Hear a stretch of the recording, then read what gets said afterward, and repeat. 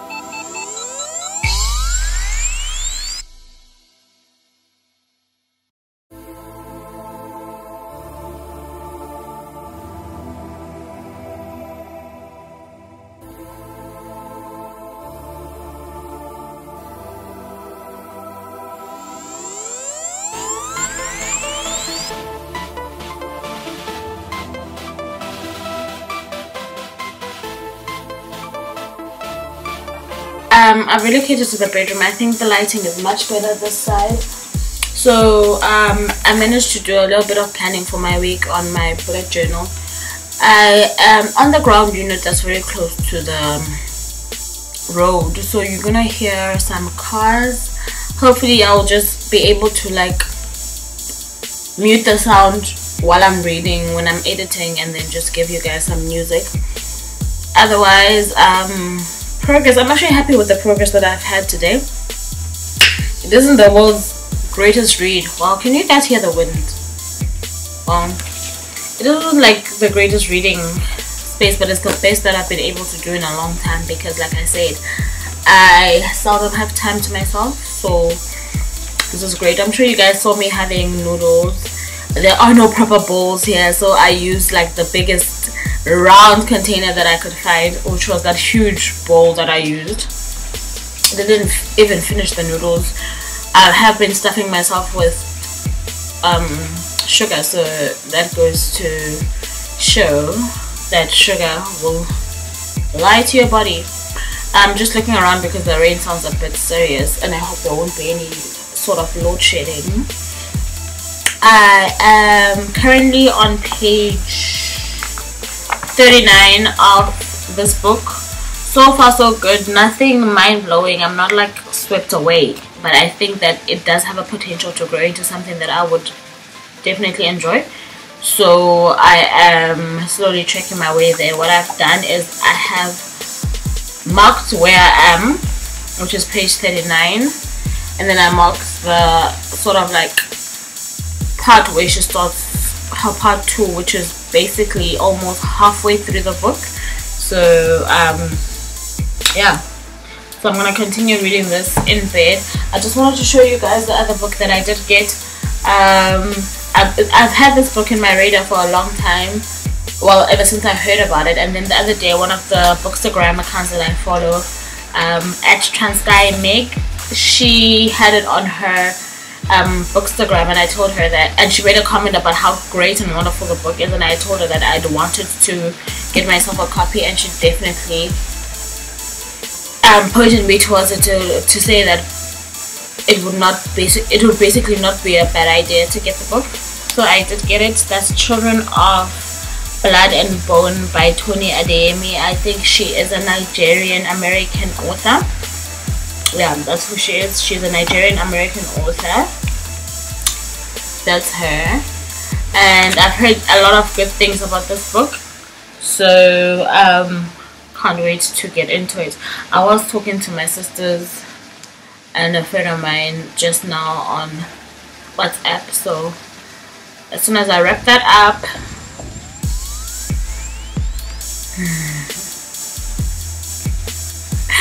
I will um, start reading again.